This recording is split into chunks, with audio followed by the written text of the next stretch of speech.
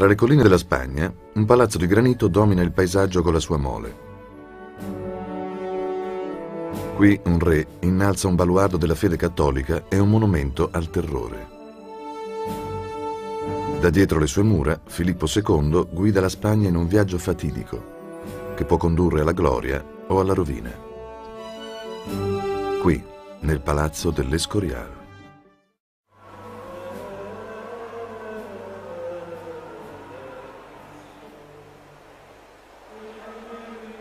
Dal cuore della Spagna le preghiere risuonano come rintocchi, così come hanno fatto per 300 anni.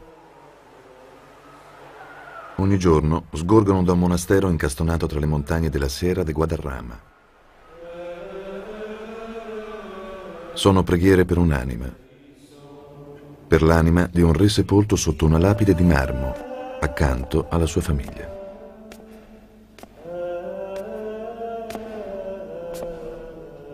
Il suo nome è Filippo II. La Spagna lo considera un santo, ma per metà del mondo è un diavolo.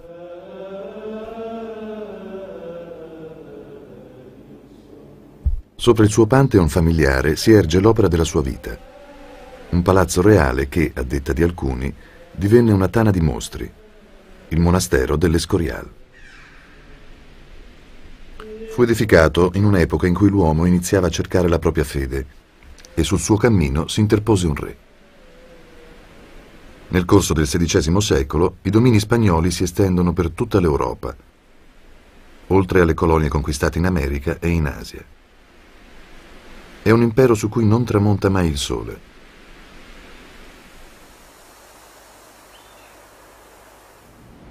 È un regno cattolico, per mantenerlo tale, Filippo utilizza tutto il potere della Chiesa di Roma e, se necessario, ricorre allo strumento dell'Inquisizione spagnola.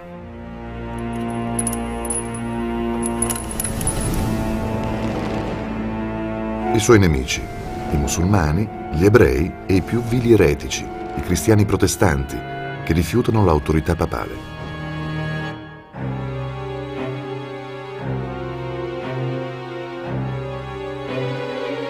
Quando era un giovane principe, Filippo amava assistere alle esecuzioni pubbliche degli atei.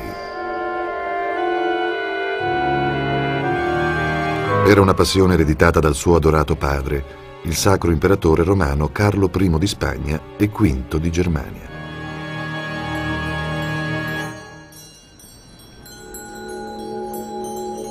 Quando la vecchiaia lo costrinse ad abdicare, Carlo chiese solo due cose al figlio. La prima di continuare a lottare contro l'eresia fino alla morte. La seconda, di costruire un grandioso mausoleo per i reali spagnoli. Filippo promise di esaudire i desideri del padre. Nel 1561 si recò sulle colline di granito sovrastanti il villaggio dei minatori dell'Escorial.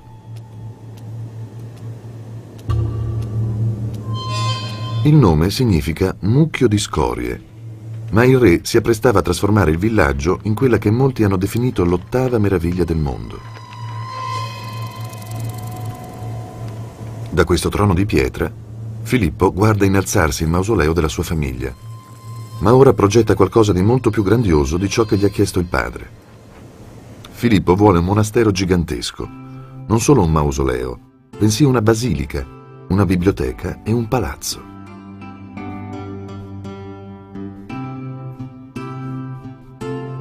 Si utilizzano circa un milione di tonnellate di granito per realizzare l'opera più imponente del mondo, con le sue quasi 2000 stanze e i suoi 104 km di corridoi.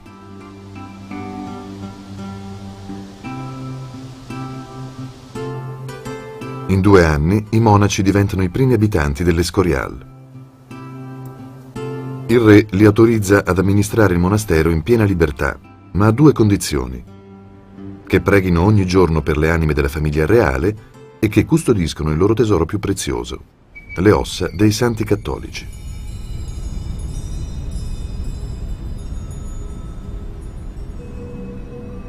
Le sacre reliquie sono una delle principali passioni di Filippo. La sua collezione di 7000 ossa è la più grande del mondo.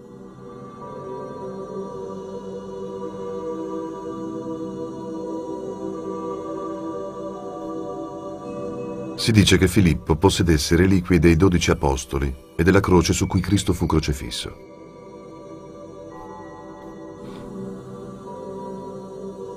Il re, inoltre, dedicò il monastero a un martire cristiano perseguitato dai romani.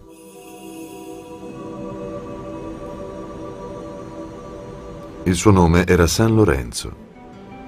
Filippo credeva che il suo spirito lo avesse aiutato a vincere una battaglia cruciale Alcuni però ritengono che, in realtà, ad affascinare il re fosse il modo in cui il martire fu giustiziato. Lorenzo era stato arso vivo su una graticola.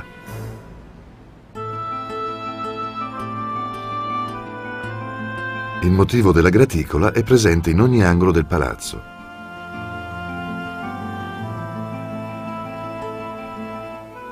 Di fatto è ciò che caratterizza il progetto di tutto l'edificio. Non è possibile confondere l'Escorial con un luogo di svago. È piuttosto il simbolo della forza spirituale della guerra contro l'eresia.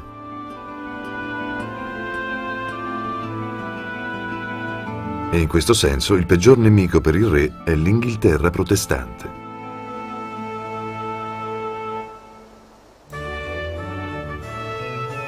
Dal 1533 l'Inghilterra è una nazione proscritta, dopo essersi scissa da Roma per creare la sua chiesa. In quell'epoca un'eretica protestante sale sul trono inglese, Elisabetta I. Filippo vuole deporla. Benché il suo paese sia debole, Elisabetta lo sfida. Non temo il re di Spagna, Sarò la regina d'Inghilterra finché avrò vita.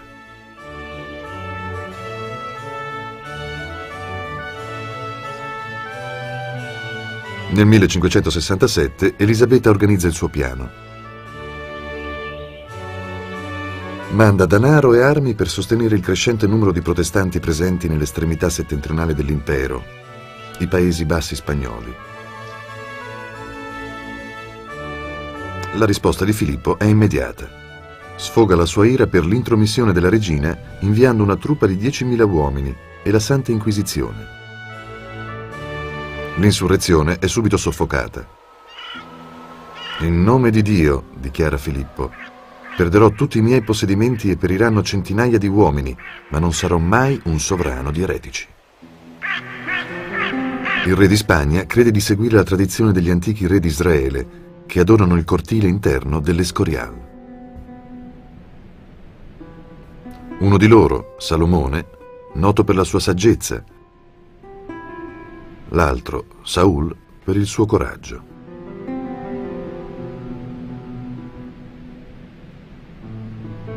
Ma Filippo dimentica la lezione più importante che dovettero imparare gli israeliti. Malgrado tutto il loro potere e la loro sapienza, alla fine il loro regno venne distrutto.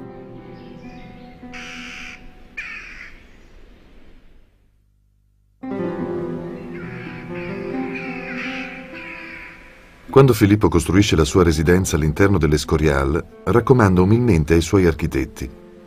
Per Dio un palazzo, per me una capanna. Quella che lui chiama la casa del re si estende timidamente dietro al palazzo. La sua semplicità è pari all'austerità della costruzione edificata per i monaci.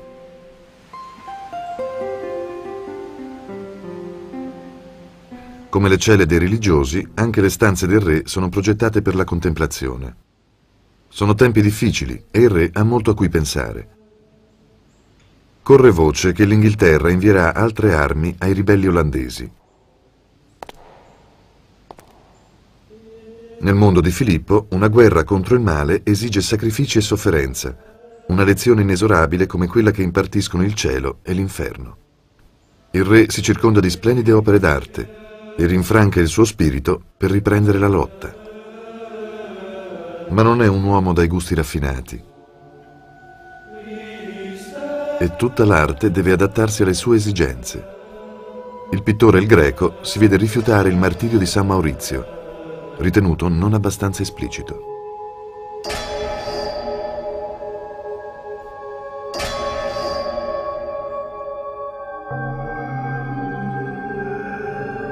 Filippo ammette solo un'eccezione segreta, l'opera sottilmente oscena di Hieronymus Bosch, Il giardino delle delizie, conservata nelle sue stanze private, da cui è bandito ogni altro elemento decorativo.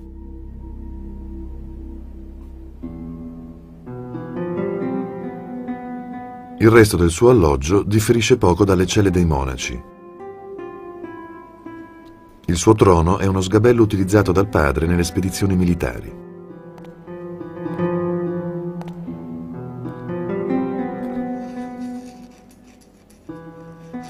Filippo preferisce governare il suo vasto impero da questo minuscolo studio. Si mostra poco incline a delegare le responsabilità. I suoi consiglieri lo chiamano il capo ufficio dell'impero spagnolo, in quanto firma assiduamente circa 400 documenti al giorno.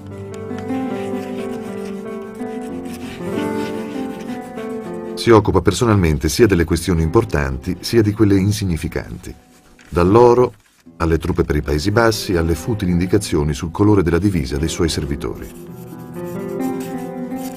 La sua attenzione si concentra sull'edificio dell'Escorial. Un costante rifornimento di oro proveniente dalle colonie americane finanzia il più costoso dei suoi progetti. Ma nel 1577 l'Escorial riceve un duro colpo.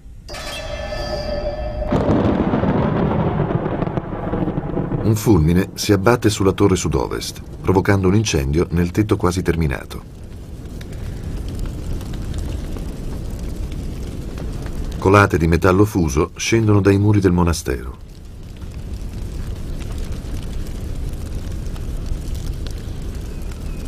La ricostruzione è ostacolata da una nuova preoccupazione che ha origine a centinaia di chilometri di distanza. Ancora una volta è la regina Elisabetta a intralciare i piani di Filippo. I pirati inglesi, al comando di Francis Drake, assaltano le navi spagnole cariche dei tesori dell'America nel loro viaggio attraverso l'Atlantico. Il fiume d'oro che scorre verso la Spagna assomiglia sempre più a un misero rigagnolo.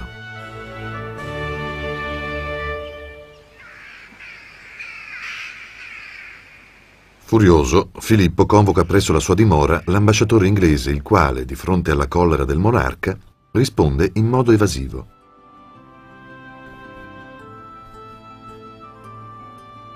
Il re mormora spazientito a un consigliere. Sarà meglio cacciare quest'uomo prima che si macchi di un'impertinenza più grave che ci obblighi a arderlo sul rogo. Mentre l'ambasciatore fugge spaventato, Filippo matura l'idea di bruciare qualcosa di più grande, niente meno che l'Inghilterra.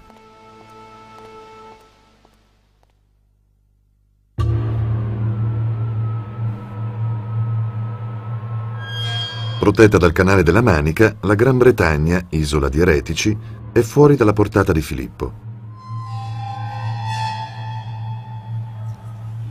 In Spagna i protestanti non rappresentano la benché minima minaccia. L'Inquisizione e il rogo hanno eliminato ogni possibile forma di eresia. Dall'Escorial il re governa i suoi sudditi come un pastore il suo gregge mansueto. La censura e la propaganda li mantengono sotto il suo controllo. Il dominio esercitato da Filippo sulla Chiesa trasforma ogni prete in una spia e rende il re partecipe di ogni confessione. Quanto agli eretici, che non può eliminare, li studia nella biblioteca reale, situata nell'ala più sfarzosa del monastero.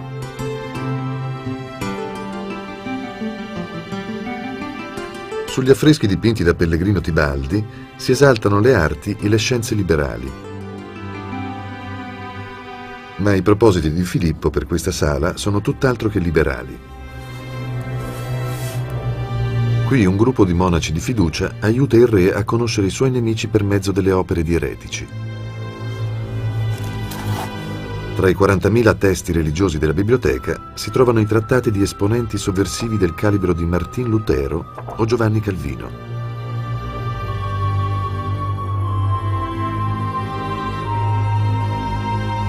Questo intenso studio ha uno scopo. Allo stesso modo in cui la cupola celestiale della biblioteca ha la Terra come centro dell'universo, così il Re vuole mantenere la Chiesa di Roma al centro del mondo.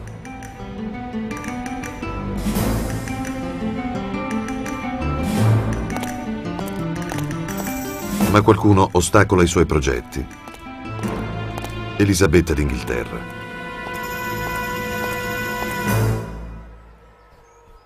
Filippo confida a un consigliere. I rapporti con l'Inghilterra si avviano verso un punto in cui forse sarà necessario costringere con la forza la regina a fare quello che si rifiuta di fare per mezzo della ragione. Solo l'Escorial placa le ire di Filippo. Nel 1585, dopo 24 anni di duro lavoro, l'opera è quasi conclusa. Gli operai sono ormai arrivati alla grande cupola della basilica. È leggermente più piccola di quella di San Pietro a Roma, come chiaro segnale di sottomissione al Vaticano. Con i suoi oltre 90 metri di altezza, la cupola sovrasta nettamente l'edificio.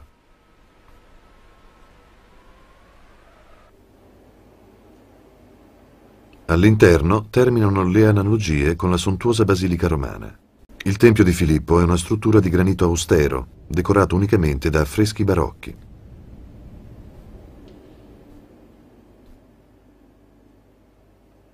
Nonostante le sue dimensioni, la chiesa è riservata esclusivamente alla corte reale.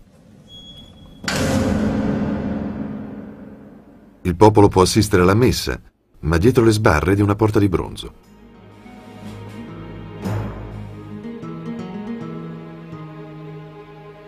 Tutti gli occhi sono puntati verso l'unico elemento ornamentale della chiesa, l'altare maggiore.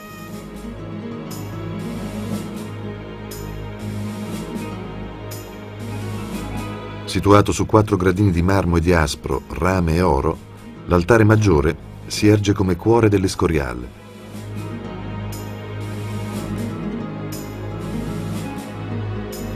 E come simbolo della missione della vita di Filippo.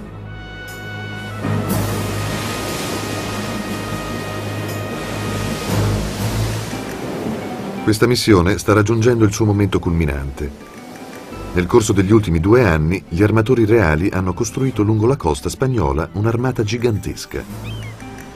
130 navi per trasportare 30.000 soldati spagnoli. La più imponente forza navale mai riunita prima.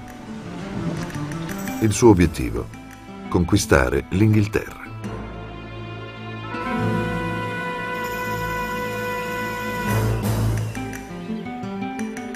Piano di Filippo prevede, una volta lì, di detronizzare Elisabetta a favore della cugina cattolica di questa, la regina Maria di Scozia.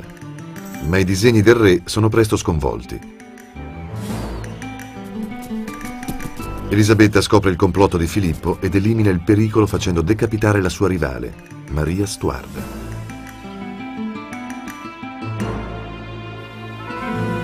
Filippo si infuria e giura vendetta.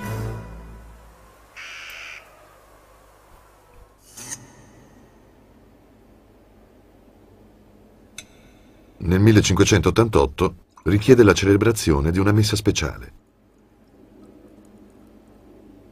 Nelle sue stanze private situate vicino all'altare maggiore cerca la benedizione divina per la decisione più importante della sua vita.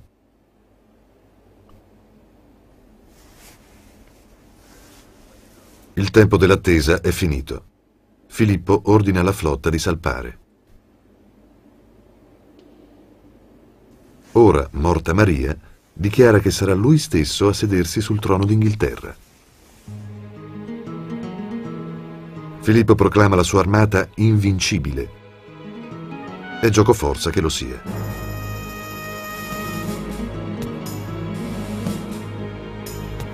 Quando le sue navi prendono il largo, portano con sé il destino del regno.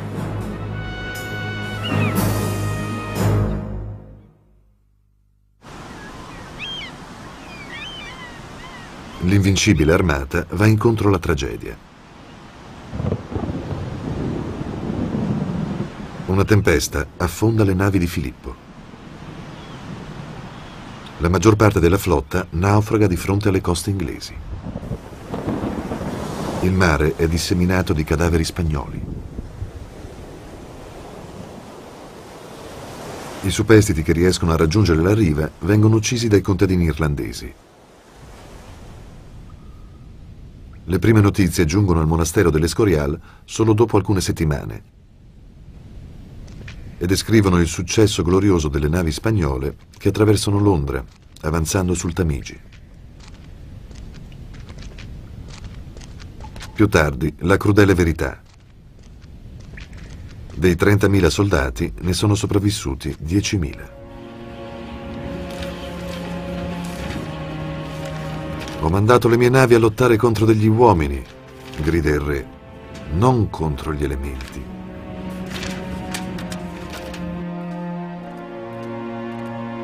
Per la Spagna è una crisi definitiva. Il costo dell'armata ha svuotato le casse del regno. La sua sconfitta fa crollare il prestigio della Spagna, ma non la determinazione di Filippo.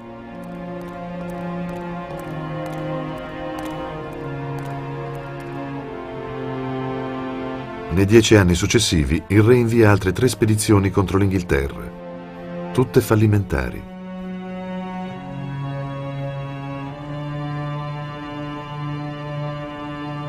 E allora accade la cosa più impensata. Le navi britanniche attaccano le coste spagnole.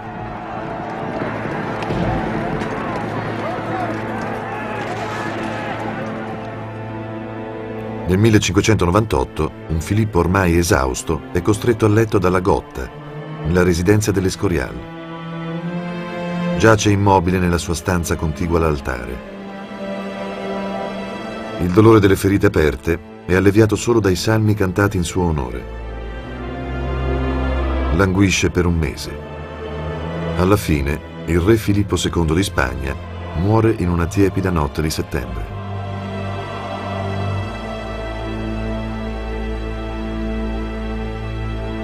In definitiva, Filippo non riuscì a esaudire i desideri di suo padre.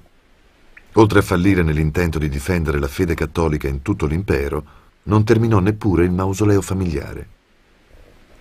Le acque sotterranee impedirono la costruzione della cripta. I suoi successori cercarono di completare il mausoleo, ma per diversi anni l'Escorial non poté accogliere i reali spagnoli.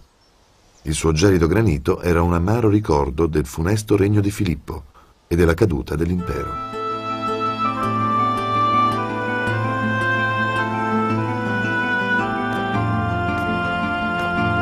Infine, gli ingegneri riuscirono ad asciugare le fondamenta dell'Escorial. Nel 1654 la cripta venne completata.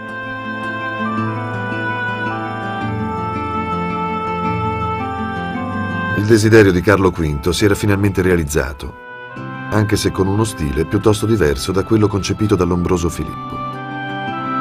Il freddo granito fu sostituito da marmo, oro e rame.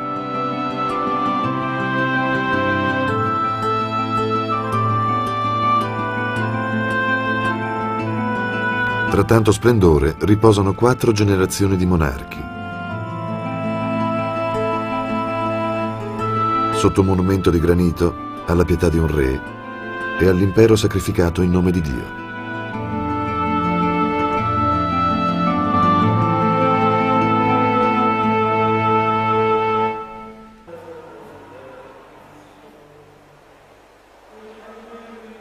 Dal cuore della Spagna le preghiere risuonano come rintocchi così come hanno fatto per 300 anni. Ogni giorno sgorgono da un monastero incastonato tra le montagne della Sierra de Guadarrama. Sono preghiere per un'anima, per l'anima di un re sepolto sotto una lapide di marmo, accanto alla sua famiglia.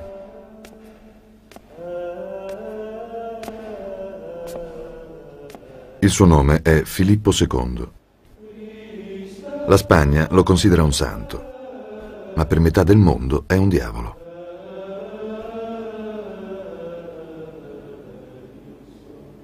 Sopra il suo pantheon familiare si erge l'opera della sua vita, un palazzo reale che, a detta di alcuni, divenne una tana di mostri, il monastero dell'Escorial.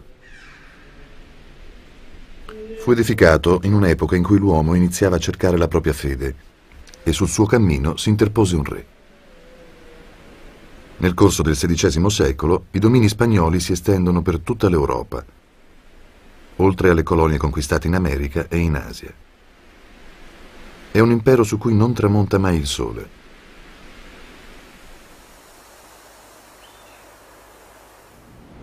È un regno cattolico. Per mantenerlo tale, Filippo utilizza tutto il potere della Chiesa di Roma e, se necessario, ricorre allo strumento dell'Inquisizione spagnola.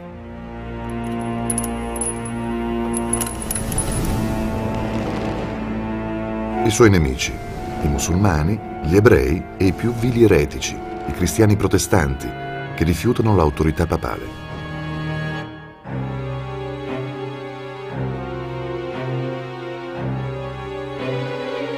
Quando era un giovane principe, Filippo amava assistere alle esecuzioni pubbliche degli atei.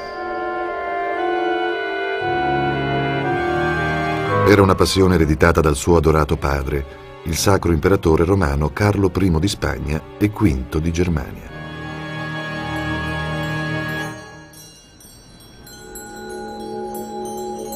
Quando la vecchiaia lo costrinse ad abdicare, Carlo chiese solo due cose al figlio. La prima di continuare a lottare contro l'eresia fino alla morte. La seconda, di costruire un grandioso mausoleo per i reali spagnoli. Filippo promise di esaudire i desideri del padre. Nel 1561 si recò sulle colline di granito sovrastanti il villaggio dei minatori dell'Escorial. Il nome significa mucchio di scorie ma era sul trono inglese, Elisabetta I. Filippo vuole deporla. Benché il suo paese sia debole, Elisabetta lo sfida. Non temo il re di Spagna, sarò la regina d'Inghilterra finché avrò vita.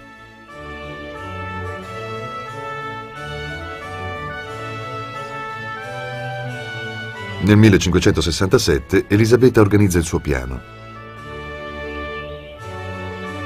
Manda denaro e armi per sostenere il crescente numero di protestanti presenti nell'estremità settentrionale dell'impero, i Paesi Bassi spagnoli. La risposta di Filippo è immediata. Sfoga la sua ira per l'intromissione della regina inviando una truppa di 10.000 uomini e la Santa Inquisizione. L'insurrezione è subito soffocata. In nome di Dio, dichiara Filippo, Perderò tutti i miei possedimenti e periranno centinaia di uomini, ma non sarò mai un sovrano di eretici. Il re di Spagna crede di seguire la tradizione degli antichi re di Israele, che adorano il cortile interno dell'Escorial. Uno di loro, Salomone, noto per la sua saggezza, l'altro, Saul, per il suo coraggio.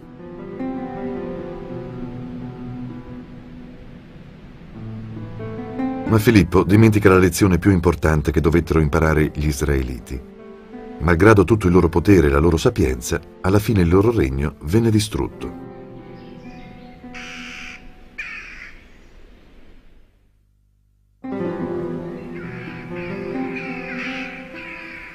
Quando Filippo costruisce la sua residenza all'interno dell'Escorial, raccomanda umilmente ai suoi architetti per Dio un palazzo, per me una capanna. Quella che lui chiama la casa del re si estende timidamente dietro al palazzo. La sua semplicità è pari all'austerità della costruzione edificata per i monaci.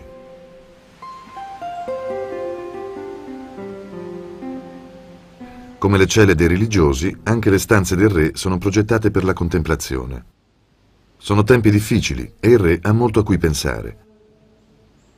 Corre voce che l'Inghilterra invierà altre armi ai ribelli olandesi. Nel mondo di Filippo, una guerra contro il male esige sacrifici e sofferenza, una lezione inesorabile come quella che impartiscono il cielo e l'inferno. Il re si circonda di splendide opere d'arte e rinfranca il suo spirito per riprendere la lotta. Ma non è un uomo dai gusti raffinati.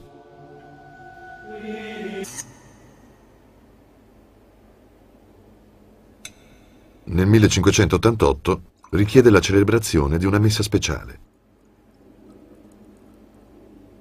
Nelle sue stanze private, situate vicino all'altare maggiore, cerca la benedizione divina per la decisione più importante della sua vita.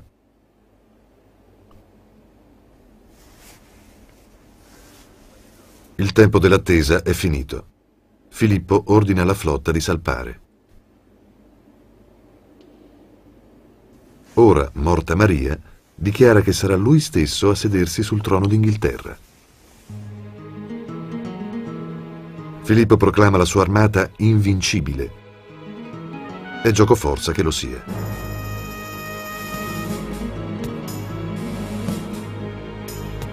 Quando le sue navi prendono il largo, portano con sé il destino del regno.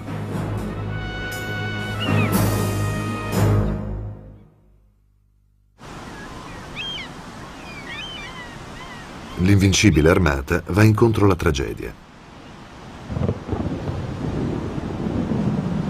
Una tempesta affonda le navi di Filippo. La maggior parte della flotta naufraga di fronte alle coste inglesi.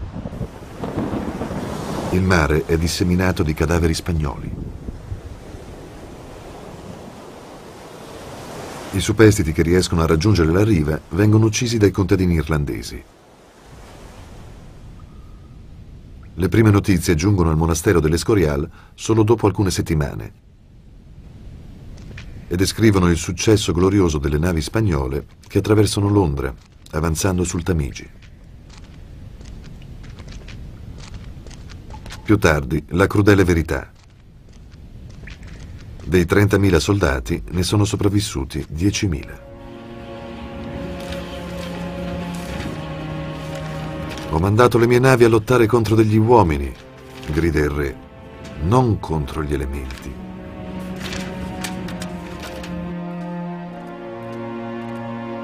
Per la Spagna è una crisi definitiva.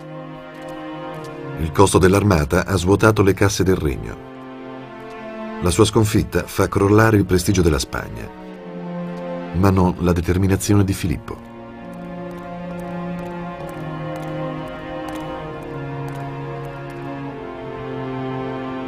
Nei dieci anni successivi il re invia altre tre spedizioni contro l'Inghilterra, tutte fallimentari.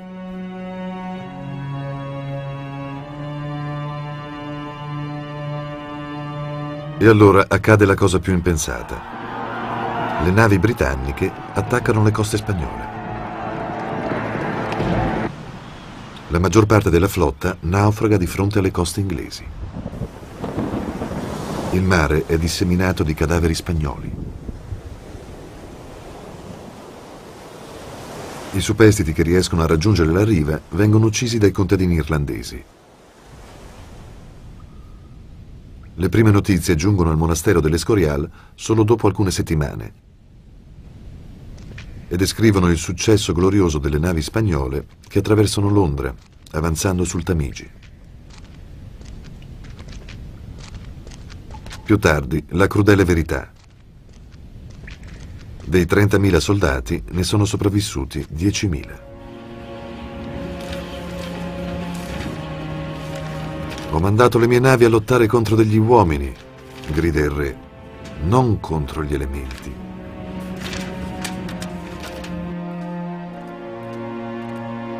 Per la Spagna è una crisi definitiva. Il costo dell'armata ha svuotato le casse del regno. La sua sconfitta fa crollare il prestigio della Spagna, ma non la determinazione di Filippo.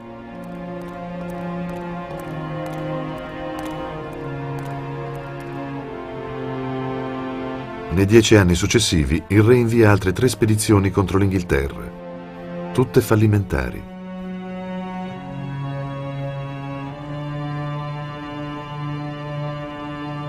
E allora accade la cosa più impensata. Le navi britanniche attaccano le coste spagnole.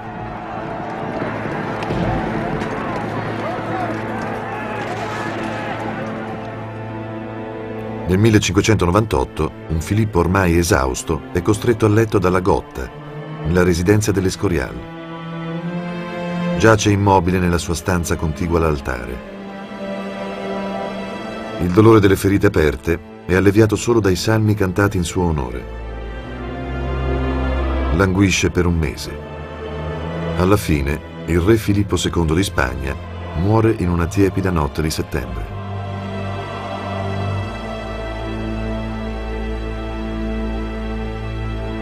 In definitiva, Filippo non riuscì a esaudire i desideri di suo padre. Oltre a fallire nell'intento di difendere la fede cattolica in tutto l'impero, non terminò neppure il mausoleo familiare. Le acque sotterranee impedirono la costruzione della cripta. I suoi successori cercarono di completare il mausoleo, ma per diversi anni l'Escorial non poté accogliere i reali spagnoli. Il suo gelido granito era un amaro ricordo del funesto regno di Filippo e della caduta dell'impero. di oro proveniente dalle colonie americane finanzia il più costoso dei suoi progetti. Ma nel 1577 l'Escorial riceve un duro colpo.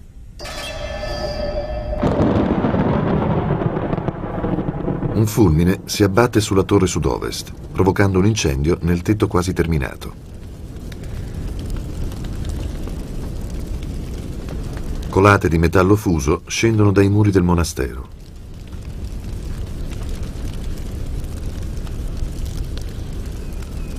La ricostruzione è ostacolata da una nuova preoccupazione che ha origine a centinaia di chilometri di distanza. Ancora una volta è la regina Elisabetta a intralciare i piani di Filippo. I pirati inglesi, al comando di Francis Drake, assaltano le navi spagnole cariche dei tesori dell'America nel loro viaggio attraverso l'Atlantico. Il fiume d'oro che scorre verso la Spagna assomiglia sempre più a un misero rigagnolo.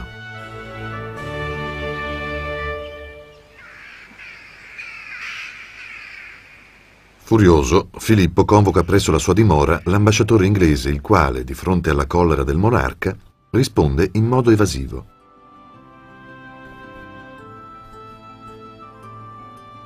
Il re mormora spazientito a un consigliere. Sarà meglio cacciare quest'uomo prima che si macchi di un'impertinenza più grave che ci obblighi a arderlo sul rogo. Mentre l'ambasciatore fugge spaventato, Filippo matura l'idea di bruciare qualcosa di più grande, niente meno che l'Inghilterra.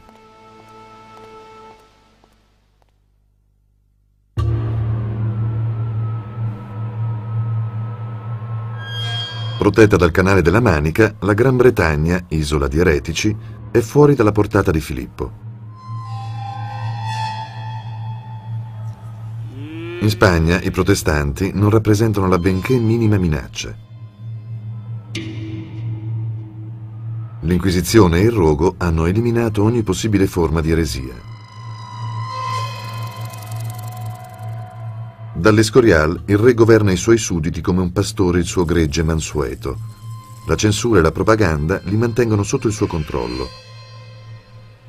Il dominio esercitato da Filippo sulla Chiesa trasforma ogni prete in una spia e rende il re partecipe di ogni confessione. Quanto agli eretici, che non può eliminare, li studia nella biblioteca reale, situata nell'ala più sfarzosa del monastero.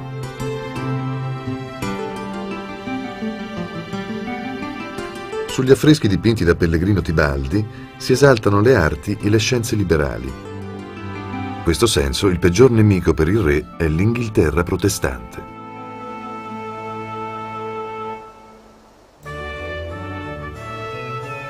Dal 1533 l'Inghilterra è una nazione proscritta, dopo essersi scissa da Roma per creare la sua chiesa. In quell'epoca un'eretica protestante sale sul trono inglese, Elisabetta I. Filippo vuole deporla. Benché il suo paese sia debole, Elisabetta lo sfida. Non temo il re di Spagna, Sarò la regina d'Inghilterra finché avrò vita.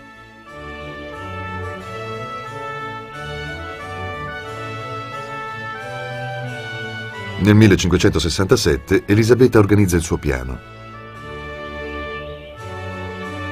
Manda denaro e armi per sostenere il crescente numero di protestanti presenti nell'estremità settentrionale dell'impero, i Paesi Bassi spagnoli. La risposta di Filippo è immediata. Sfoga la sua ira per l'intromissione della regina inviando una truppa di 10.000 uomini e la Santa Inquisizione. L'insurrezione è subito soffocata. In nome di Dio, dichiara Filippo, Perderò tutti i miei possedimenti e periranno centinaia di uomini, ma non sarò mai un sovrano di eretici. Il re di Spagna crede di seguire la tradizione degli antichi re di Israele, che adorano il cortile interno dell'Escorial. Uno di loro, Salomone, noto per la sua saggezza, l'altro, Saul, per il suo coraggio.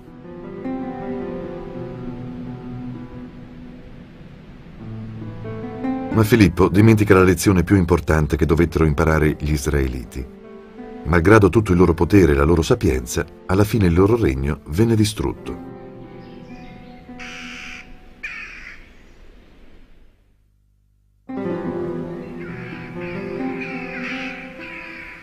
Quando Filippo costruisce la sua residenza all'interno dell'Escorial, raccomanda umilmente ai suoi architetti. Per Dio un palazzo, per me una capanna. Quella che lui chiama la casa del re si estende timidamente dietro al palazzo.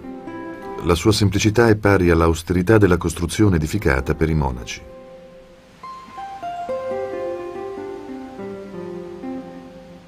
Come le celle dei religiosi, anche le stanze del re sono progettate per la contemplazione.